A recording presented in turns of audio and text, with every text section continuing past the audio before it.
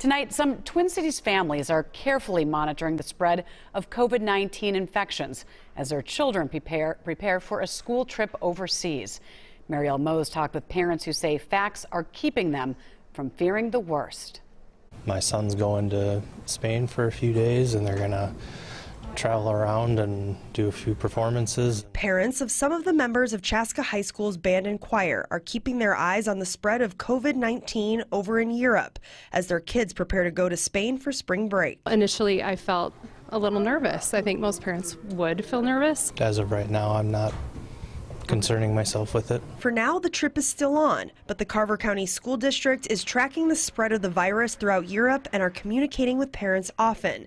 In a statement, the district told WCCO, Our students' safety and health is our utmost concern, and we are closely monitoring U.S. Department of State travel advisories and working with our travel agency to determine the next steps and mitigate any potential financial impact. Even with travel insurance, Kyle Potter with Thrifty Traveler says it doesn't protect canceled flights due to global health scares. If you decide later on you're uncomfortable traveling and you cancel, you're not going to be able to recoup any of your travel costs. Like, I'm not going to put my son at risk to save a couple thousand dollars. And if they changed it to a level four, which would say, you know, no non essential travel, then we would cancel. Of course we would. Health experts say the most vulnerable people to contract COVID 19 are people above 60 with underlying health conditions.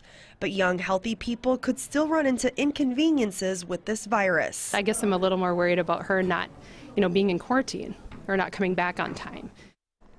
And I spoke with Dr. Mark Sanis at Park Nicollet tonight, and he says that we need to remember that the CDC will not put us in danger, meaning that if they have not put out a travel warning to a certain area, it is safe to travel to that country. Good to keep in mind, Marielle. Thank you.